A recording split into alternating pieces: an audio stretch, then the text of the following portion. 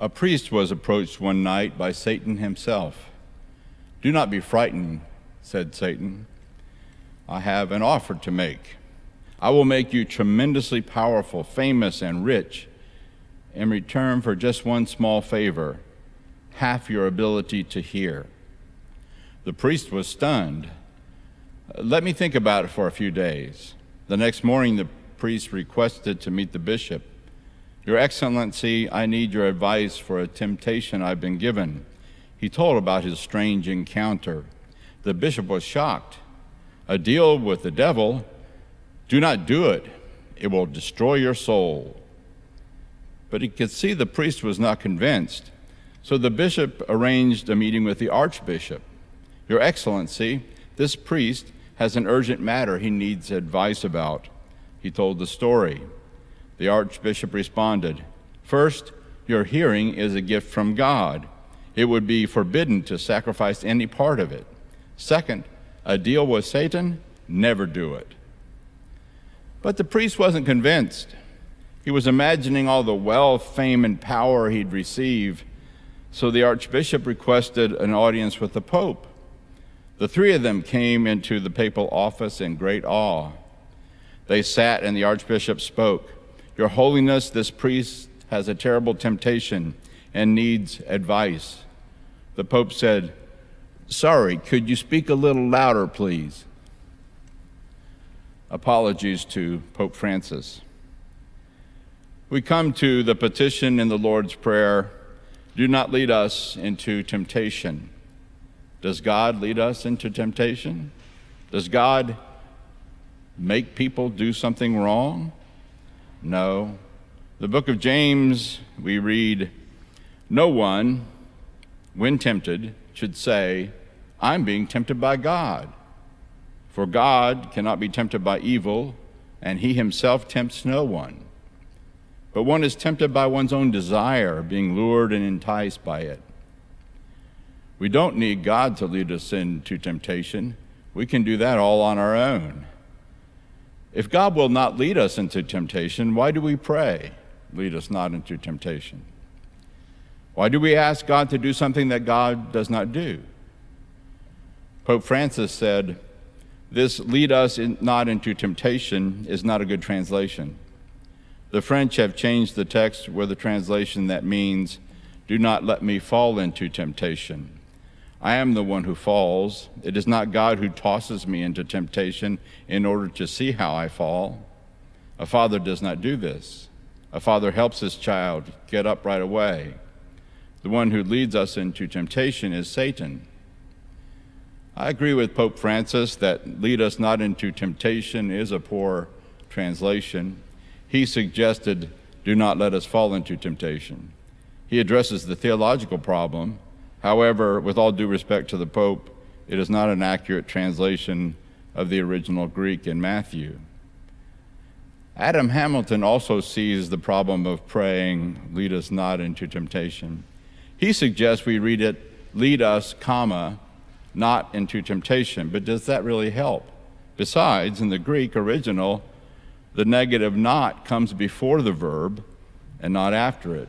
It literally reads, Do not lead us. This suggestion does not solve our problem. However, the majority of the recent and best commentaries provide a simple and accurate answer to the problem. They translate the phrase, Do not bring us to the time of trial, or do not put us to the test. Test or trial is a better translation of the Greek word than temptation. Several modern translations of the Bible follow this better rendering of the prayer. So Jesus is inviting us to pray, do not put us to the test, or do not lead us into a trial.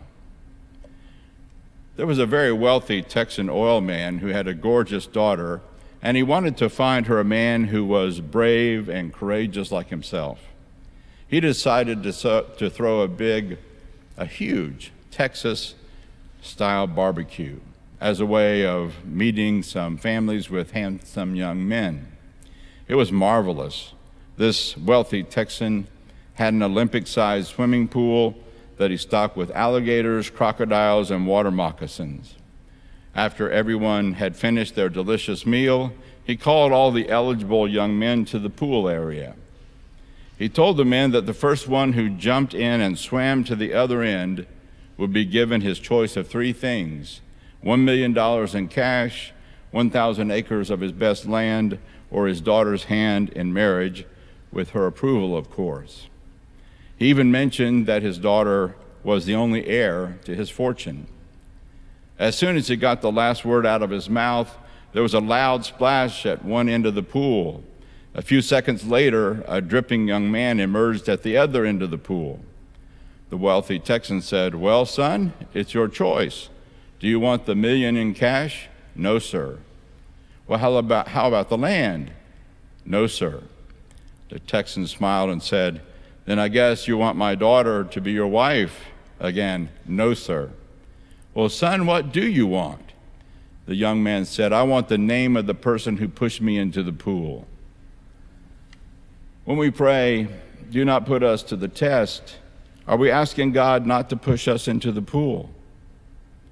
The Lord tested Job through terrible trials that the Lord allowed the adversary to do to Job. All his children, nearly all his servants were killed. All his possessions were taken from him. Then he was afflicted from the top of his head to the sole of his feet with boils. His friends came to comfort him, but they turned on him. They accused him of terrible sin, saying that he deserved all this suffering. Job was put through a horrible ordeal. Later in Matthew's gospel, Jesus invited Peter, James, and John to go with him while he prayed in agony in the Garden of Gethsemane. Jesus was praying not to suffer the ordeal of crucifixion that he was facing. But he was willing to endure it if that's what God wanted. His disciples fell asleep. After praying, Jesus came to his friends and said, What? Could none of you stay awake with me for one hour? Stay awake and pray that you may be spared the test. Test. That's the same Greek word as in the Lord's Prayer. What test was Jesus thinking of?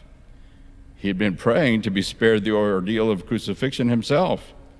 Jesus was only minutes away from being betrayed by Judas, followed by arrest, torture, trials, and crucifixion the next day. Jesus knew what was coming. Wasn't he saying that the disciples should pray not to be tested by such an ordeal? He did not want his friends to have to suffer what he was going to endure. Why should we pray not to be tested? First, we are human and none of us wants to suffer. Notice that we are praying for us and not me. We pray not only for ourselves, but for our sisters and brothers in Christ not to experience trials. I think we can pray that for everyone, Christian or not.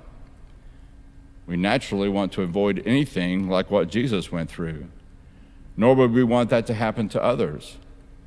Second, do not put us to the test as a prayer of humility. We know that we may fail.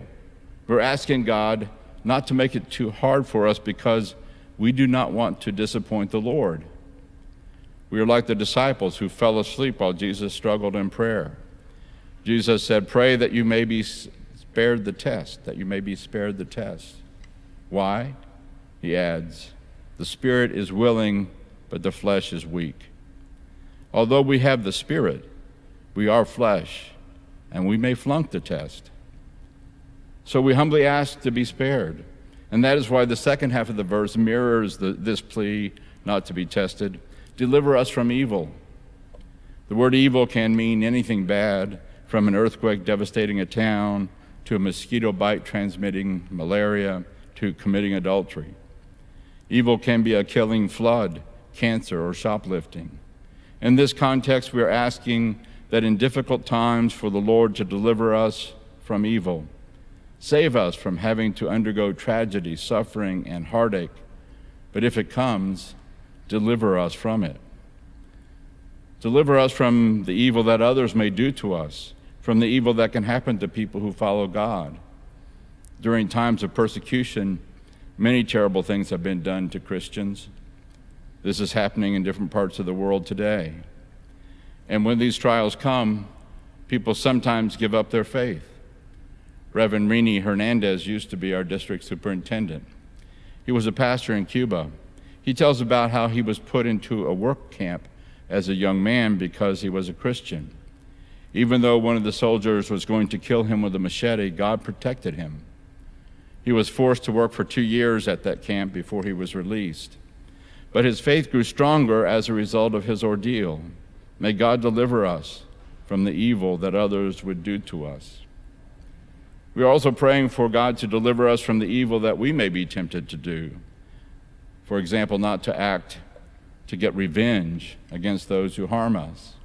We are praying that we do not give in to evil ourselves. Scripture teaches us to overcome evil by doing good, not to retaliate against those who may harm us. Deliver us from the evil temptation to strike back. Jesus was faithful throughout his ordeal on the cross, even praying for his executioners. But I think the trial or the evil goes beyond persecution to any tragedy or affliction we endure. A rabbi friend of mine in Plantation, Florida, Rabbi Har, told me about losing his 17 year old daughter in an auto accident. The grief was devastating.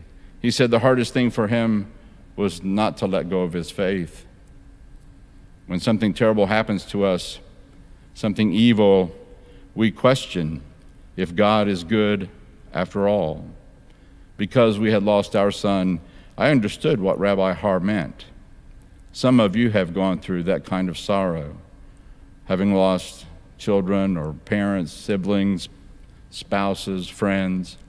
Heartache can drive us away from our faith, it can make us bitter. It's hard to continue to believe in a good God when something tragic happens to us.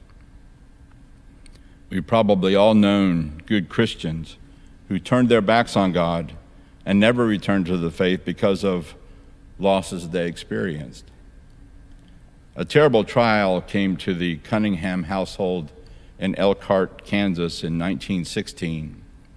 Floyd Cunningham was stoking the fire of the potbelly stove in the one room schoolhouse. He thought he was pouring a little kerosene on the coals, but it was gasoline. It exploded and engulfed the entire schoolhouse in fire with Floyd and his seven year old brother Glenn inside. The boys managed to get out, but both were severely burned. Glenn later said, I remember screaming and not being able to stop, even when my parents and eventually the doctor arrived. The doctor held out no hope for Floyd. He was too badly burned. He told my parents that I might live unless too much infection set in. If the infection gets too bad, he told mother and father, we won't have any choice but to amputate his legs. If Glenn survived and if they were able to save his legs, he'd probably never walk again. Nine days later, Floyd died. Glenn promised his grieving mother that he would walk again. At first, he scooted a chair around the kitchen. Then he crawled across the yard and pulled himself up on their wooden fence. One stake at a time, he'd pull himself along the fence, trying to hold himself up on his legs day after day. He refused to give up. Two years after the accident, he began to walk. Glenn's favorite Bible verse was, But those who wait on the Lord shall renew their strength. They shall mount up with wings like eagles. They shall run and not be weary. They shall walk and not faint. Eventually, Glenn did mount up with wings like an eagle. Not only did he walk again, but he ran, and he ran fast. They called him the Kansas Flyer because he was so fast on the track team for the University of Kansas. Glenn also competed in the 1500 meters at the 1932 and 1936 Olympics, coming in fourth and then second. He set world records for the mile and the 800 meters several times throughout the 1930s. Glenn went on to earn a master's degree and a PhD. He taught at Cornell College for four years, then served in the Navy in World War II. In 1947, he and his wife opened the Glenn Cunningham Youth Ranch. They helped more than 10,000 troubled, abused, neglected, and differently abled children over a, a, period of more than 30 years. God had helped Glenn get through the ordeal when he was young. So he dedicated himself to helping kids going through difficult times. And that is how God often answers our prayers for deliverance through the help of a friend. May God help us, and may God not put us to the test, but deliver us from evil. And may the Lord use us to help others who are going through trials. Amen.